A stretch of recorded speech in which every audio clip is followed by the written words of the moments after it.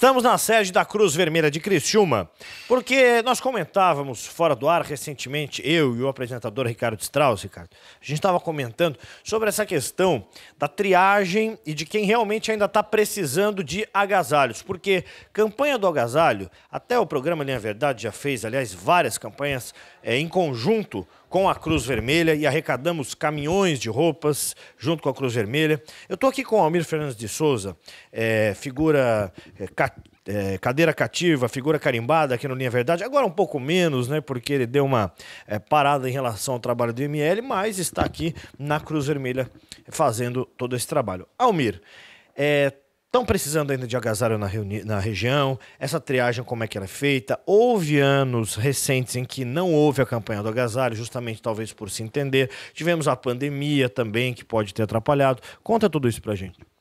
Primeiramente, quero mandar um abraço aqui lá pro estúdio, o Ricardo e sua equipe de bastidores. E também a Tizanine, o Carioca, bem-vindos aqui à Cruz Vermelha. Pois é, estamos aqui novamente, voluntários. Isso é, a, é há muito tempo essa logística de toda quinta-feira à tarde. A Cruz Vermelha vem atendendo aqui em sua sede, tanto em agasalhos quanto também em alimentos. Importante dizer que a pandemia nos trouxe um diferencial em relação a todas as campanhas. Foram muitas, muitas iniciativas de vários locais, Zanini, com relação à mobilização para a campanha, sobretudo o alimento. Então a Cruz Vermelha é, abraçou-se nisso com muita responsabilidade. Então a gente está muito focado em questão ao alimento, mas não deixamos de fazer por hora também a campanha do agasalho. A campanha do agasalho, que há muito tempo, há mais de 15 anos, ela é realizada é, dois em dois anos. Por que dois em dois anos? E tu já comentou isso aqui nos bastidores. Por conta da quantidade expressiva de agasalhos que a gente tem recebido, para que as pessoas possam valorizar os agasalhos que recebem nós mesmos aqui, por costume, a gente tem uma roupa, um agasalho que nos dura mais de um inverno. Então a gente quer que, os, que as pessoas é, vulneráveis também valorizem esse material e que possa durar mais o inverno. E outro detalhe é a questão do ano eleitoral. Tem alguns momentos que a gente teve que fazer campanha uh, em ano eleitoral que não foi é, tão de agrado, porque muitos políticos, infelizmente, tirando vantagem desse momento, chegavam nos ambientes de distribuição e faziam marketing em cima disso. Então a gente optou em não fazer em ano eleitoral municipal. Então por isso esse ano é um ano que a gente se envolve com a campanha do agasalho, mas de uma forma diferenciada. Não aquela forma, como vocês viram agora há pouco aqui na imagem, o comboio da equipe multi-institucional, onde com várias viaturas, caminhões de exército e toda a equipe vai aos bairros vulneráveis, vai às cidades, é, num todo, principalmente a região das Serras, Anine, né, onde a gente pode atender Bom Jardim, São Joaquim, Urubici, Urupema, Bom Retiro, Rio Rufino, toda a serra, literalmente ela é coberta pela campanha, com agasalhos, com cobertores, com roupas quentes. Então esse ano, especialmente esse ano, não vamos subir a serra, não vamos nos deslocar em comboios. Por quê? Porque a gente, como falei no início, estamos mais focados nos alimentos. A gente está entregando muito, muitos alimentos. Toda semana a gente entrega alimentos. Esses alimentos é bom que se diga que as famílias uh, que vêm solicitar, a gente orienta para que busque os CRAS. Os CRAS é que vão fazer o levantamento, a assistente social de cada CRAS é que vai dentro da residência das pessoas e vai verificar a necessidade. Porque também queremos valorizar aquelas doações que vêm, cestas básicas que as pessoas doam, e a gente quer ter a certeza de que essa cesta básica está indo realmente para quem precisa, para que duas famílias não recebam duas ou mais cestas básicas enquanto outra não recebe nada. Porque tem muito famílias, infelizmente, que vão à CRAS, vão num serviço social, vão em outro local e pedem um lado, pedem de outro, e se abastecem com muitas cestas básicas, enquanto que outras também necessitadas acabam ficando sem esse, esse alimento. Então a gente buscou atender as famílias na Cruz Vermelha e ao longo do tempo, Zanini, foram 18 municípios atendidos aqui é, durante a pandemia. E muitos deles a gente foi até os municípios, região da MESC, da Morel, ANREC e da região serrana.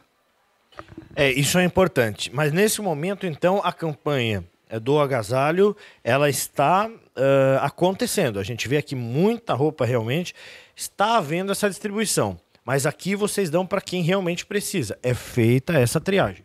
Isso mesmo, aquela logística que era muito comum, todas as organizações da equipe multinacional estarem com as portas abertas para receber agasalhos, não mais esse ano. por conta da gente não ter braços voluntários suficientes para lidar com o alimento e agasalhos ao mesmo tempo. Mas não deixamos de receber donativos, agasalhos, como muitas iniciativas estão havendo, houveram, muitas pessoas estão trazendo até a Cruz Vermelha essas doações, e aqui a gente tem o compromisso de fazer a triagem, como vocês observaram aqui, os voluntários, e a partir daqui fazer chegar nas pessoas que mais precisam. Essa é a logística. Mas então a distribuição está sendo feita ou não está? Está sendo feita. Daqui a pouco mais, nesse período da tarde, virão aqui é, de cinco CRAS aqui da região, virão famílias até a Cruz Vermelha e pegarão seus agasalhos. E toda semana tem sido assim.